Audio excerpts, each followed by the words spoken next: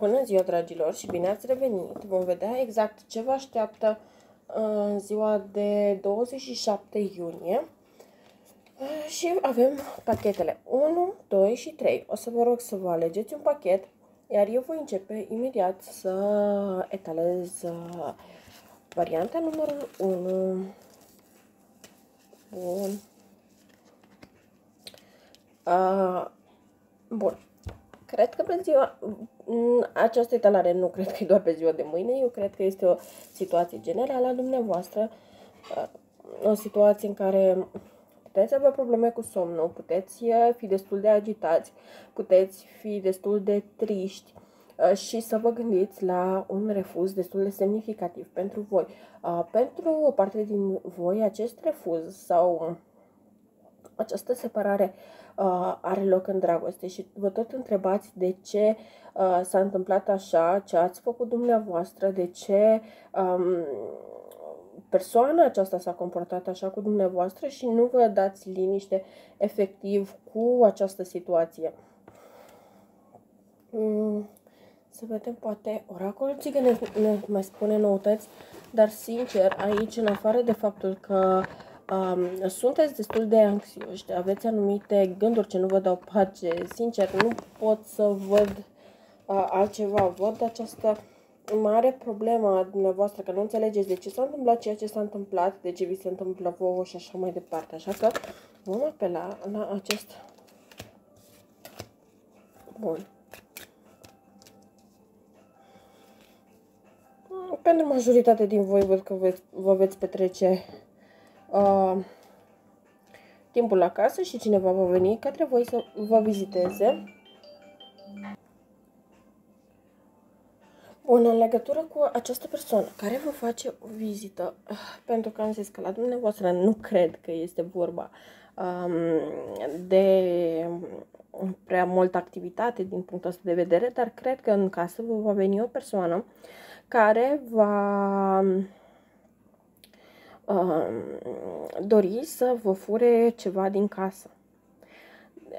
Probabil nici nu vă dați seama și aveți încredere totală în acea persoană. Eu nu am... Să ne înțelegem.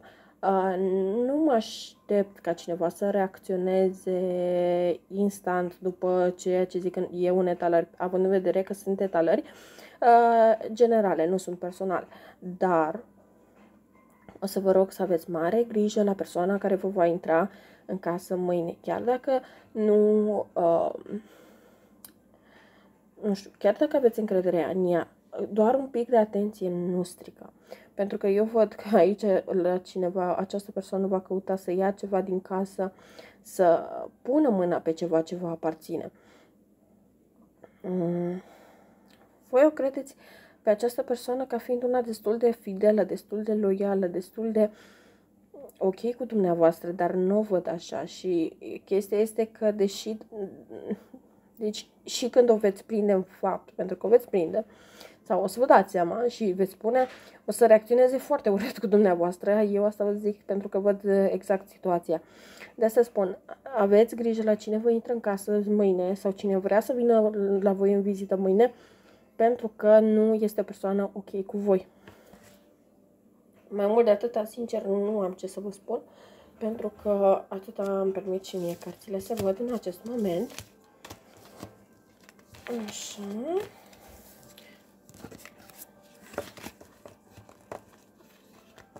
Și aceasta a fost prima variantă. Urmează a doua variantă. La mare. Mm. Bun. Um, în cazul dumneavoastră, cred că vă gândi, o parte dintre voi fie deja ați plecat către mare sau stați cumva pe lângă apă și stați la plajă. Um, fie uh, vă gândiți să mergeți la mare de, vă, și văd că vă gândiți să mergeți uh, cu o persoană de sex opus.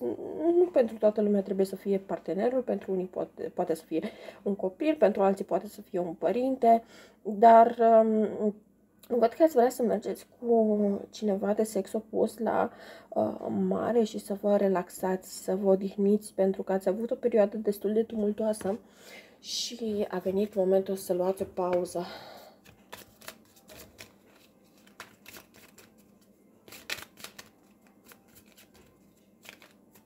Hai să vedem mai departe.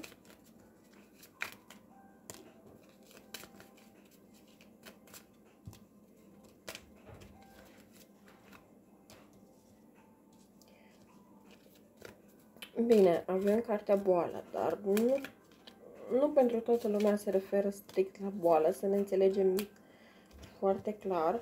Uh, pentru unii din voi este mai mult vorba de oboseală psihică, efectiv au fost niște situații mult mai complicate care v-au necesitat mai multă uh, grijă, mai multă atenție, v-au consumat efectiv pe plan emoțional și a fost o situație constantă, o situație din care n-ați putut ieși și căreia, pe care efectiv n-ați putut să o evitați. Probabil o situație mai dificilă în familie sau ceva de acest gen.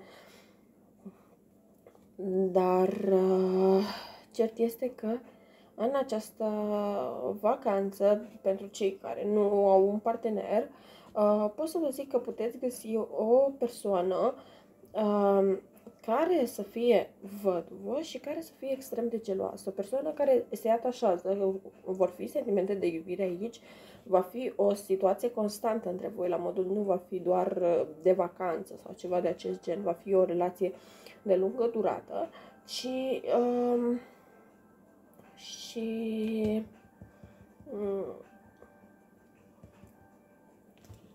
în mare puteți uh, percepe situația ca fiind frumoasă, numai această persoană este un pic mai geloasă decât ar trebui și mai, un pic mai uh, are câteva um, are câteva elemente de falsitate. Nu neapărat că este o persoană extrem de falsă, dar un pic exagerează anumite chestii. Uh, deci, pentru voi, în afară de niște planuri sau plecare efectivă către mare, mm, nu văd să existe în mod special pentru ziua de mâine.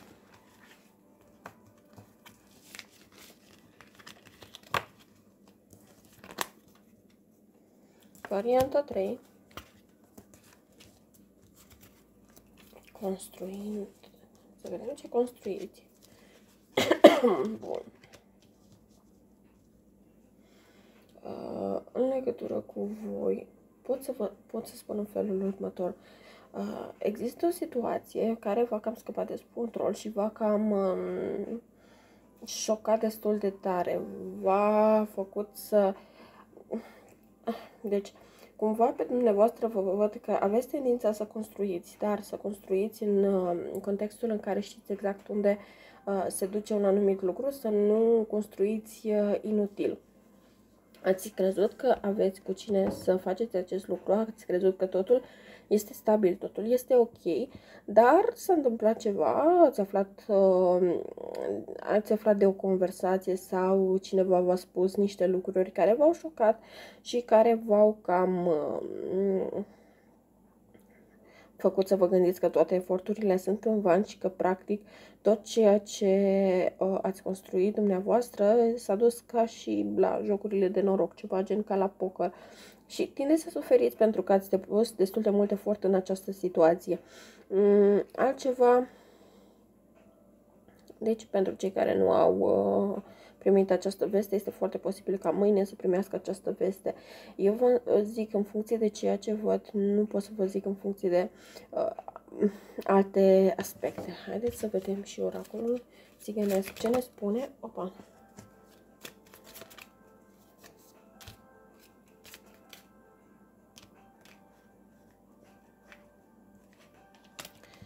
veți avea o bucurie neașteptată care vă va da speranțe. O să primiți de asemenea vești despre niște bani uh, cu pregătire pentru cei care au un copil, probabil.